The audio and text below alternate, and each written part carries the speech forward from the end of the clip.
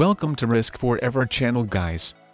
To the channel which shares the most relevant tips and tricks on how to win at Risk, and improve your rank in no time. Subscribe to the channel and you won't even see how fast you will become so much better at Risk.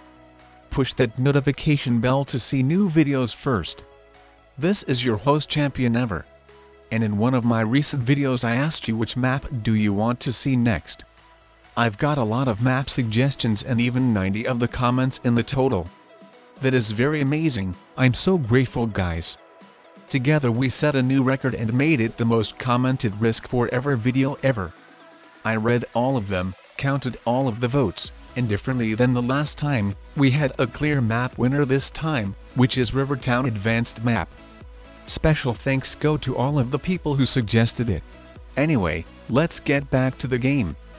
This time I'm playing 6-player fixed cards game on Rivertown Advanced Map.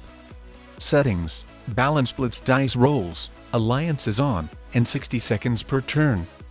This time I'm playing against 3 beginner rank players who are orange, purple and green, and even 2 intermediate rank players who are yellow and blue. How do you think, will I be tough enough to beat these half-experienced rookies, or will they be able to bring the Grandmaster down? Hmm. We will see about that. In any case, wish me best of luck as always guys, I will definitely need it, keep your fingers crossed for me. Anyway, as you can see at first I was going for this region over here, who would have given me 3 extra troops for me if I had captured it. I specifically was going for that region because other players didn't have many troops in it at all, all of the territories were basically ones. And another reason why I decided to go for that region, is because I wanted to have a region on the right side of the map, as from the overall setup I predicted that more of the players will be going for the left side regions, meaning that it would be much easier for me to capture all of the right side regions rather than the left side regions, well if I ever gotten that opportunity of course. At first I didn't go for the bridge even though I could, because it's in the middle of the map, and I thought it will be the most wanted region by all of the players. But to my surprise nobody showed any intentions to go for it at all, even though it could have been captured by anyone so easily. It had ones in the territories. So since nobody went for it, I gladly captured it by myself, and started getting three extra troops. Plus I have just captured another region, the one I originally was going for firstly, so I get three another extra troops for it as well and that makes to get 6 extra troops in total and I'm considering it pretty good. I'm the first player to get 2 regions and I'm planning to expand even more. I specifically planning to get this region over here, as currently nobody is going for it seems, and my overall goal is to eventually capture all of the regions of the right side of the map if possible. So I just really hope that the purple player won't be going for it, as if he will then basically I can give up on my goal of capturing all of the regions of the right side anytime soon. I need to be the player who gets the most of the troops of the right side of the map if I want to ever capture all of the side regions. And yes, to my luck the purple player added some troops to different region, to the region which is on left side. That means I can go for this another region I was dreaming about. I'm planning to finish capturing it in the next turn and then I will be getting another 4 extra troops. So I will be getting 10 extra troops in total for holding regions, and plus some extra troops for having many territories as well. Like OMG, I will be getting like 16 or 17 troops. And if these players will be letting to hold all of the stuff I'll be having, then I will become very strong soon and be a potential threat to all of them. So then they will need to cooperate if they want any chances to win but judging by the fact that most of the beginners are not very cooperative when it's needed against the strongest player, I'm going to win not so hard at all, if they let me hold a lot of regions. But another fact I know is that beginners like to attack others into any continents they can as well. So in order to safely hold regions, I will need to properly guard them. Or actually who knows, maybe I won't need to properly guard them at all, just to have my troops defensively inside my regions showing that I'm not going to attack them, and the same time not showing any possible threat. I mean I made an alliance with all of the players and a lot of low rank players tend to take the alliances too seriously. Well, I'm allied with everyone except the green player, he declined my alliance request, savage. But if he will be making any of the problems for me, then I could safely take him out, right? As it doesn't seem he will ever be as strong as me. Well, unless the purple player would start attacking me, then I would have some problems for sure if they both would team up against me. But if the purple player won't attack me now, then later it can be way too late. But what in the world has happened over here guys? The orange player was holding that region and the blue player could have easily taken this one. So why he didn't capture it, but decided to take a region from the orange player instead? Hmm. That was strange. But I mean for some reasons he was attacking the orange player into that region from the beginning of the game as well. Maybe he wanted that region because it is like Australia which has only one border to guard to? I don't find any other explanation, as the orange player wasn't attacking him or doing something like that to make him mad. Well, since the blue player didn't want that region, I captured it by myself. I will be happy to get any unwanted extra regions, la la la. Anyways as you saw, I sent an alliance request for the green player, and he accepted this time. No beginner would refuse an alliance with the dominating player, la la la. And wow guys, is he attacking the purple player? Lol. That is so, so good. I'm already the strongest player and it even gives me more of the advantage when other players fight each other. Now I'm really starting to think that I might take all of the right side continents for real. I just really need to hope that the purple player got mad and will attack the green player. And if so, then my chances to win this game will become more than huge. Let's see what the purple player is up to guys. Alright, he added some troops to region on the other side of the map. And some troops to his old continent, will he attack the green player though? Wow, I didn't see that coming guys. How dare you to attack me purple, I'm the strongest player and only I have the right to hold all of these regions. Let's seek for some of the revenge guys. How about if I take the region he just captured? Hmm. Sounds like a plan. Let's do it. To be honest, the purple player has made the right decision by attacking me into region. I'm not only the strongest player right now, but I'm holding multiple regions as well. If these players aren't going to team up against me, then I will become a real pain for all of them soon. So far the purple player was the only player to realize that. So I needed to calm him down a little bit. By taking a region from him, I showed the other players what is going to happen to them if they are going to mess up with me. I wanted to discourage them of possibly attacking me. And so far no other player has shown any intentions to attack me it seems. So I'm wondering about the purple player, if he continues to attack me, then I might need to take him out. I highly considering it, as why to keep an aggressive towards me player while I can totally afford taking him out. Plus I don't want that other players will follow his example and would start attacking me as well. I need to eliminate the possible threat as soon as possible, before it got even worse. And oh no, it seems the purple is attacking me again. Ha! In your face purple, the luck has finally favored me. I was so lucky to defend my region.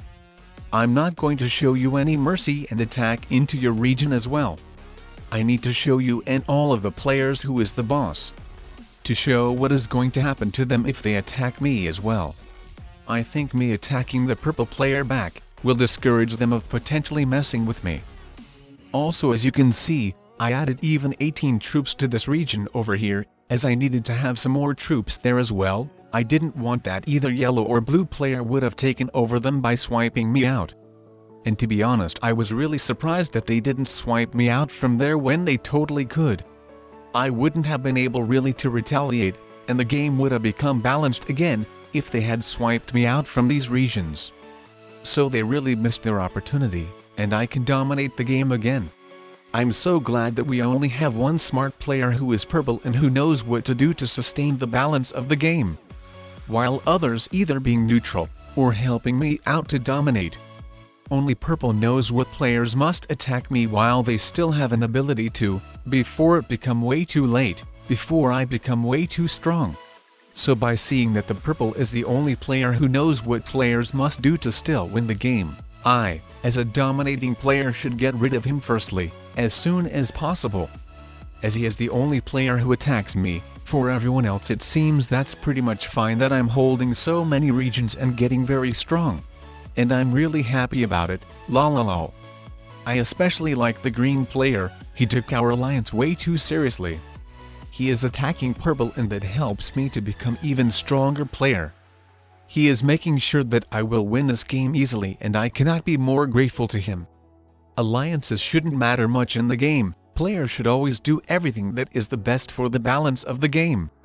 You shouldn't let anyone to become too strong, even if you have an alliance with him. Remember guys, you're playing this game to win, not to get the second place, right? Fixed cards is all about the balance of the game. Look at players' troop counters and see if you should attack someone, also keep in mind how many troops the specific players get per turn. Maybe some player isn't looking that strong right now, but maybe he will become one soon, if you let him hold even 5 continents. And when one player is especially strong you should team up with other players to attack him and make him less powerful. You should forget all of the conflicts you had with each other and pay all of the attention to the strongest player. And while you attack the strongest player, you shouldn't attack into each other continents. Even if you easily can. It was a total mistake for the blue player to invade yellow when he captured second region. You should let each other hold continents and together grow strong, while attacking the dominating player of course. Otherwise there are pretty big odds that the dominating player will swipe all of you out soon. And by the way, for those who aren't familiar with my channel yet, my name is Champion Ever and in this channel I'm sharing relevant risk global domination tips and tricks that will help you to increase your rank in no time. I upload my videos constantly, I try to make them short and informative but also entertaining at the same time. I'm currently Grandmaster and have over 1000 hours of experience which I want to share with you. Most people want to know how to win at risk. Are you one of them? If so, then what are you waiting for? subscribe and start grinding those rank points right now. Drastically improve your gameplay by simply watching risk videos. And lol, the blue player just attacked the yellow player again. Odds what I will win is increasing by seconds.